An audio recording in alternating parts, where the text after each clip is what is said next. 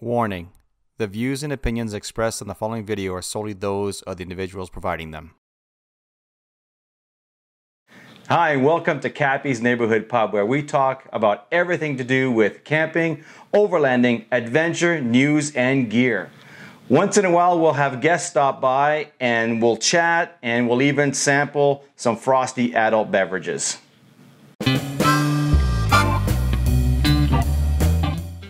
All right, we can't start off the evening without a cold brew. So tonight's cold brew is going to be the Windstorm, which is a West Coast Pale Ale from the Stanley Park Brewing Company in Vancouver, British Columbia.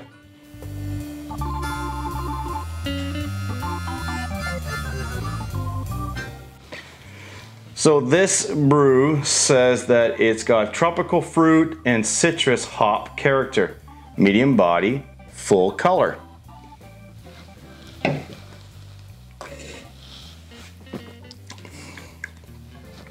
It's hoppy for sure. Yeah, there's the fruit. That's good. Gotta be really cold though. This one has been sitting out a little bit, so. Oh well. Cheers. Every week I get questions related to the same subject. So instead of answering back to you directly in a private message, I thought, hey, what a great way to answer it here.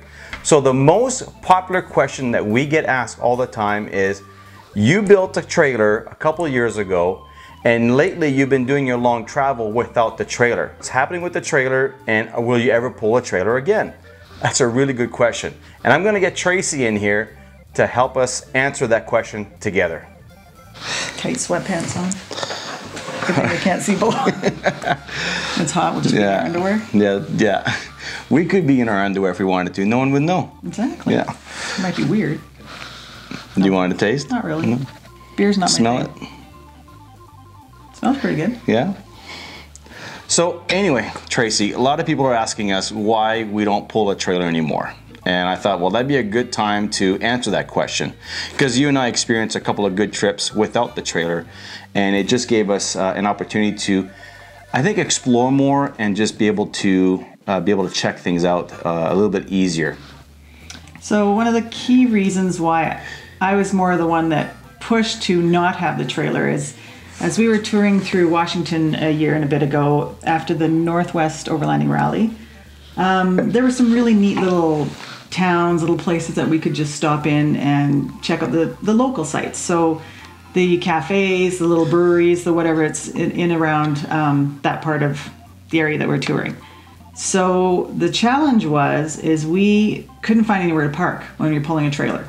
So the towns were busy, it was tourist season, and we actually had to bypass a few towns because the parking would be at the Safeway store that was like two miles out of the town or at the edge of town. And you had to walk all the way back in, which is fine. I love to go out walking. But when you're with a group of people and there's multiple trailers, it just kind of created a bigger hiccup for us. And so there were a lot of locations that I really wanted to go on tour and see, but never had a chance to. So we figured that with our children being grown, um, our youngest is going to be 18 this fall, graduated high school, we had more opportunities to go a little bit further. Long, that's going to sound funny, further longer. but, um, but to see more sites with less hassle, less packing, whatever. Just the two of us, we can pack light, smaller amounts of food, smaller amounts of clothing. We're not packing for an extra child. Um, and that way it made it more where we could, I don't know how you'd want to say it, just where we could stop wherever we wanted to. Just, you know what, yeah. hey, let's pull over right here. Even if we're on the side of a highway or we want to go check a different roadway uh, or a different pathway route, it just, to me, it was like an inconvenience to try and figure out how to back up a trailer, move it around, stop in here, trying to find somewhere to park. And um, this way, we could just go. And we're like, hey, there's a parking spot. Let's take it. Let's go and see this little cafe. Let's go check this little shop out. Let's go and try this brewery. It's we've been driving for six hours. We want to have a break um, that was kind of our main motivator. We don't need to haul extra chairs, extra food, extra yeah. equipment. We can put it all in the Jeep and go. So that um, was one of our one of the key factors that I push towards. It's extra gas, it's extra everything to pull a trailer. Well, especially like when we did that trip on the island last year. That was to- amazing. that was yeah, it was amazing. We decided at that point that we were going to retrofit the Jeep to put the rooftop tent on the Jeep, and because first of all, the ferry prices to get across onto the island was just ridiculous. And when you pull a trailer, you're adding the cost of another vehicle. Extra length, One yes. thing, long travel. So pulling a trailer and the fuel, like we just Yeah, went through. We went through in the past. We went through so much fuel just because of the trailer was so much heavier than what we're used to. And even when you're on the island and you've got some tight roads, tight highways, you don't have a shoulder to pull over. We saw a nice little hiking trail that led you to a waterfall. Trying to find a place to park, pulling that trailer would have been a pain in the butt. So we opted to just go without a trailer on that trip. And to us, it just opened up a whole new, yeah, it just opened up a Yeah. whole new opportunity to go exploring when there's tighter sections. Now I know there are some pros where you can set up camp, leave your trailer there, and it's very convenient to just leave camp set up and you can take off in your vehicle and go exploring. I get that. But in the long run, we saw that if we can retrofit the Jeep to be our overland all the time rig, mm-hmm. it just made it a lot more convenient.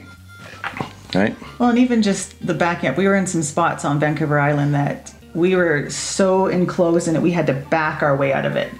And well, how would we have done that with a trailer? Oh, we had some trails that just led to a dead end, and there was no tear like teardrop no turnaround. It was the end of a trail, overgrown. How do you turn it exactly? How do you turn around in that? It would have to be unhitch, pull it aside, turn the trailer by hand, get the vehicle turned around, and hook up again, and, and just get out of there. It was yeah, it's yeah. it's not a, an ideal No, situation, no. depending on what kind of overlanding you want to do. Yeah. We do love the fact that I mean, there's a lot of people that love their trailers, and that's great. If we were going to go somewhere and we were going to sit for three or four days, that's great. You can set up a big awning, you can set up an extra room or whatever. That's fine. That's not really. That's great if we're just going to go do some weekend camping.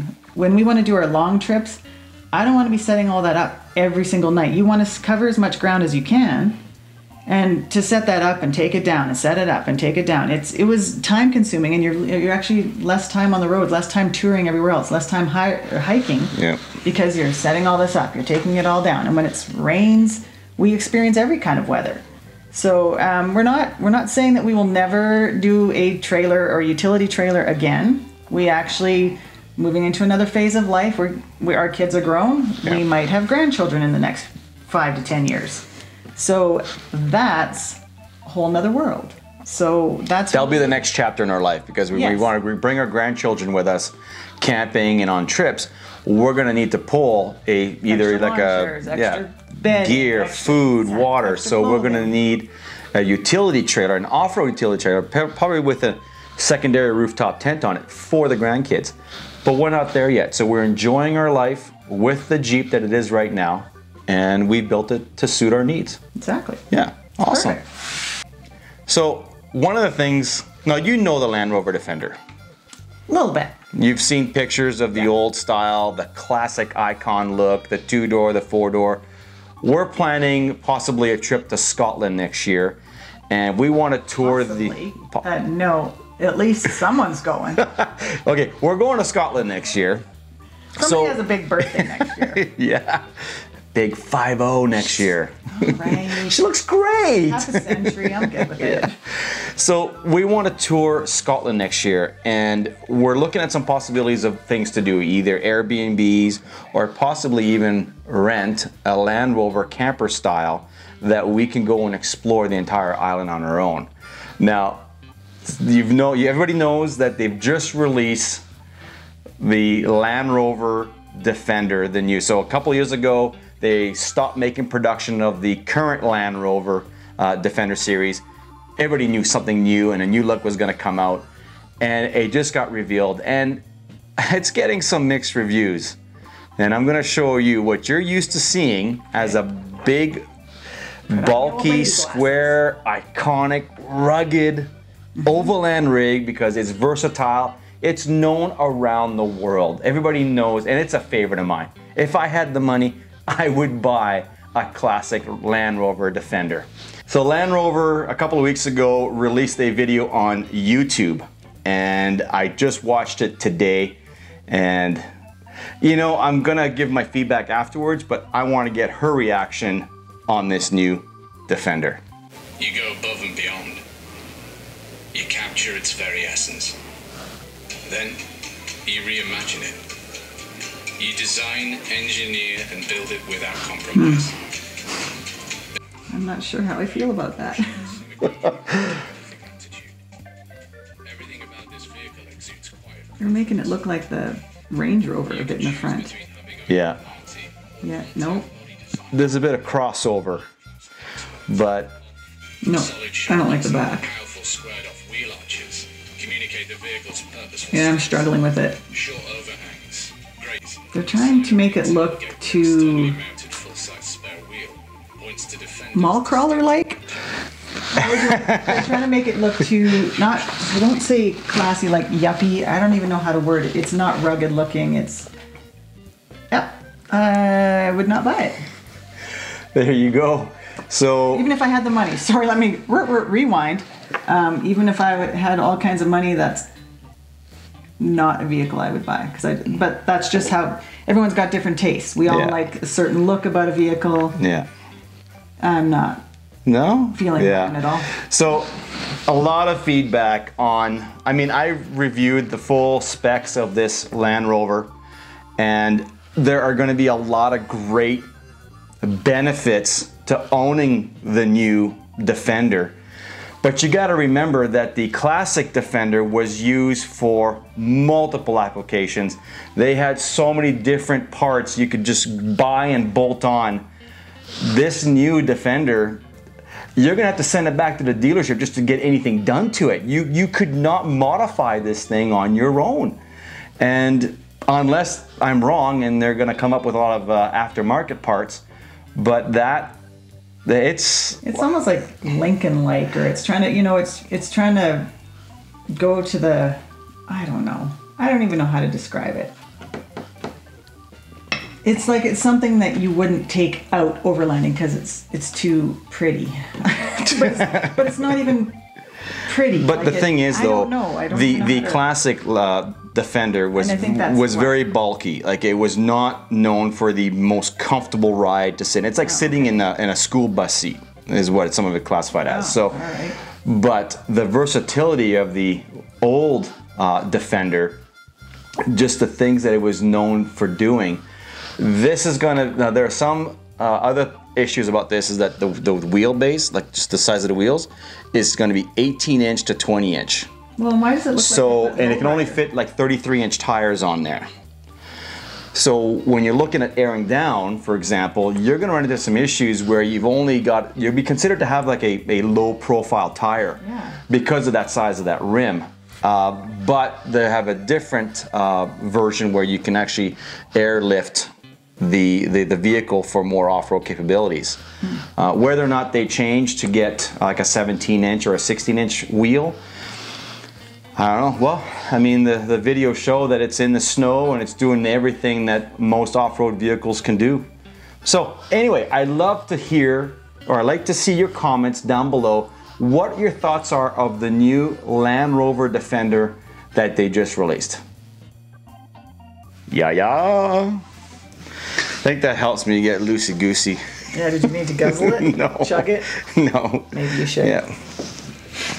So once in a while, we uh, we get some gear that we like to use either camping, hiking, backpacking, climbing, whatever it may be. And sometimes gear is given to me to review on, and some of it I pay out of my own pocket. So one of the items that I I saw uh, and I knew that I needed it because the current product I was using was failing. I mean, I purchased uh, three of this item, and I'll show you what that is. So one of the items that I went and purchased is the uh, Garb bag by Northbound Expeditions. Garb stands for uh, garbage and recycling bag. Now, this bag was more expensive than the Trasharoo bag, but the Trasharoo, I bought three because it didn't last long. Uh, it weathered, it ripped, the zippers busted every single time on that flap on the front. Would never close, it'd pull apart. Yeah. Uh, it and the buckles, the uh, snaps weren't strong enough. it wasn't adequate. So the boys over at Northbound Expeditions, they designed their own uh, recycling and garbage bag, and they call it the Garb. This thing is amazing. I mean, it is double stitched. It is strong. The zippers are heavy duty military grade zippers. The way that this attaches to the tire is strong and it's durable. It will not come apart. Uh, and it's got multiple pockets, side pocket here, front pocket here for tools, a deeper pocket here. You got a mesh pocket on the side. You know, you put your uh, your spent um, propane bottle on the side here. Or garbage we just find up lying around left from other people, we just throw it in there because Real we quickly. open everything up again and And See, that's one of the responsible things that we do too. Is that on the trails, if I see a piece of garbage or a beer can sitting there, I will pull over instead of opening the whole bag. I'll quickly put it in the side mesh and I'll deal with it later. So it's kind of a, a neat system to, to have here. Inside, you can. It's got extra straps, so if you needed to tie off some extra firewood, uh, you're available to. And it's a nice deep bag, and it's got a nice little loops here. You can hook. You know, I've got carabiner here on the side. You can hook multiple things. So this is an amazing bag, and I want to say thank you to the boys over at Northbound Expeditions for for making a nice, strong, durable bag. Uh, I can be on the trail with full confidence, knowing that this thing is not going to rip off, it's not going to break off, it's not going to tear. Uh, but during the week, though, I take it off my Jeep and I store it inside the garage because you know, at the price I paid, I just don't want it to go uh, missing and grow some legs and walk away. So good job, guys. Uh, I really support these guys, and they also have a chainsaw bag that can attach to your rear tire. Also, it's got some cool straps, and they're working on some future products. So check them out online at northboundexpeditions.com. Everybody loves Instagram. Uh, you know, some of us are addicted to it. We love watching it. We love posting into it. And you know, there are people out there saying, you know, it's all about the gram. And people will go out there camping and overlanding and they just take lots of photos. My opinion on that is who cares? They're out there and they're exploring and they're having fun. So let them have their fun in their own way. So when we pull up our phones and we look up with Instagram and see what's going on, I got this video that I saw and it just kind of intrigued me a little bit. And I was wondering if it was uh, real or fake. So I'm gonna show this to Tracy and see what she thinks about this. Uh, I'm gonna go with fake because that would have long tipped right over. Unless they somehow camera tricked it a bit. So my first thought was it was an RC truck, like an RC remote control vehicle that they Well, drove on the side. it Well, I I searched like I was looking and I can't see if there's a driver in there or it just looked too Yeah, fake. but on a cliff like that, I know. that tire would have slipped. He would have been gone. But the way that the, the the the Jeep is moving, to me, it's real. It just at first it looked like an RC car, but it's not. And I'm showing that right Well, now to you. it's It's on the video right here. Uh, That's give me your thoughts on that. Like, that's pretty gnarly, but that's really sketchy. So. I was kind of wondering if that was going to be a, a, a real thing or a fake. somebody who doesn't value their life. Well, I, who knows how, how far that's dropping off, but you're Yeah, right. Still, you're gonna learn right Yeah. on your. So this one here came from uh, M Pora Official, is the uh, Instagram account, and they're a uh, adventure magazine in the UK. And I'm interested if this is real or fake. Put your comments down. What do you think about that? Thanks for stopping by Cappy's Neighborhood Pub. And if you don't feel like stopping by, that's okay too. And on your way out, please make sure to tip that subscribe button and please don't forget to click on that notification bell. Whatever your thirst is for adventure, please remember to just get out there and explore. Cheers. Cheers. Hey, there you go. My imaginary drink. Oh, you're killing me. Blinky, blinky. It's blinking on the right. All right, blinky. Some no talking. Once in a while, we'll have good. Yeah, yeah. okay, you're gonna make this really long. no, no, you're fine there. No. if you keep laughing, it's gonna be really long. God, I hope that was recording the whole time. Did we push start? You did. Oh, it's still flashing. Okay. Is this thing on?